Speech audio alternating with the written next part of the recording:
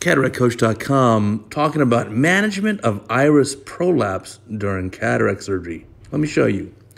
This is a resident case that's done where the capsule has been stained with trypan blue dye. A nice continuous curvilinear capsulorhexis has been made. It's probably about a four millimeter pupil, and the rhexis is about five millimeters, so beautiful job there. Watch what happens with hydrodissection.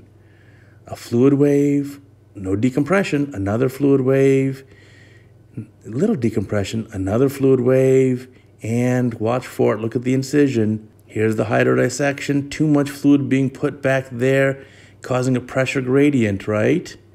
If the pressure is higher behind the iris than it is in front, look at that. It prolapses out of the eye. That's iris prolapse. How do we fix it? Well, this is the wrong way of just pushing it back in the eye. It's not going to do it. That's better. You have to decompress equalize the pressure between the posterior chamber and anterior chamber. And you can see here we're getting the nucleus up partly through the pupil, putting viscoelastic underneath it. That's going to help hold the iris at bay. So again, remember, we had iris prolapse because the pressure behind the iris was higher than the pressure in front of the iris. And that's from this eye having trapped balanced salt solution in the capsular bag. So when the iris prolapses out of the eye, you can't simply push the iris back in the eye.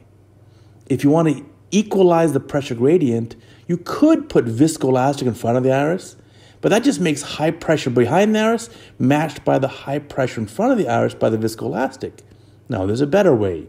Lower the pressure behind the iris. So decompress it. Go inside the eye, push the posterior lip of the iris and posterior lip of the incision towards the floor of the wound posteriorly. And that's going to help release that pressure that's behind the iris. Nice and easy.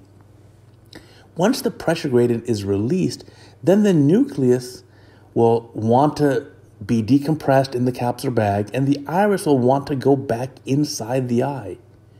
And here, all we're doing now is once we got this nucleus, which is relatively soft, up partially in the iris plane, we can just use the chopper here to feed it into the probe and then just beautifully phaco aspirate it.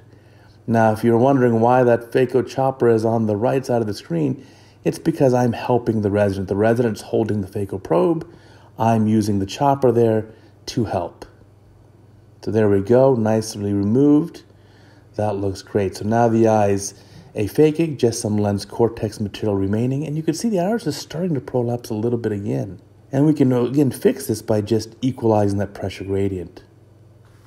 Now we'll put the IA probe in the eye. Look how we're doing it with a bimanual approach.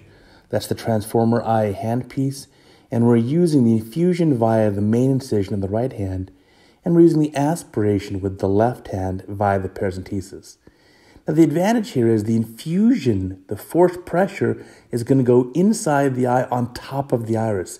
See, because the right hand and the main incision has the infusion ports above the iris, while the aspirator tip can go underneath the iris in the capsular bag.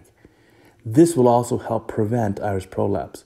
You could do it with coaxial IA, but the issue there with coaxial is you're going to infuse the fluid underneath the iris as well. So you really have to be careful not to induce more iris prolapse.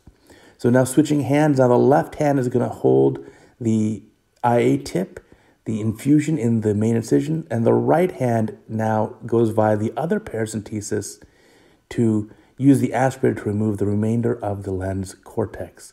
So again, going 360 here, important to get underneath the anterior lens capsule to get towards the lens equator to really clean this up nicely. We don't want to have any retained lens material or lens fragments inside the eye. So that looks great. And as we go back inside the eye now, we're going to deliver our lens. We've already filled the capsular bag with our viscoelastic. Just fast forwarded here. So there's the lens.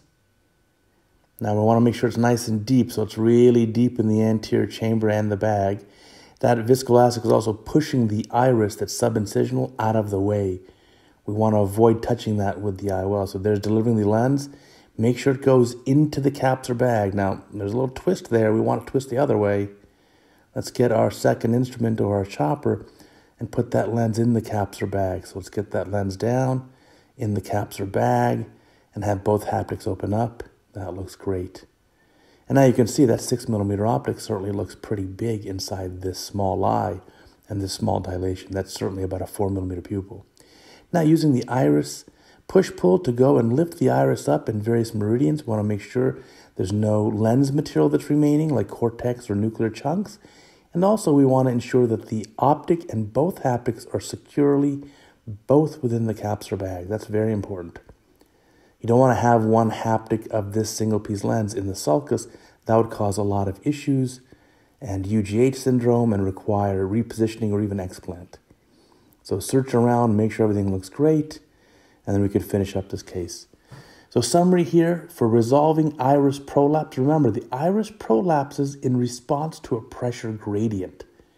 If the pressure is higher behind the iris than in front of it, it'll want to prolapse out.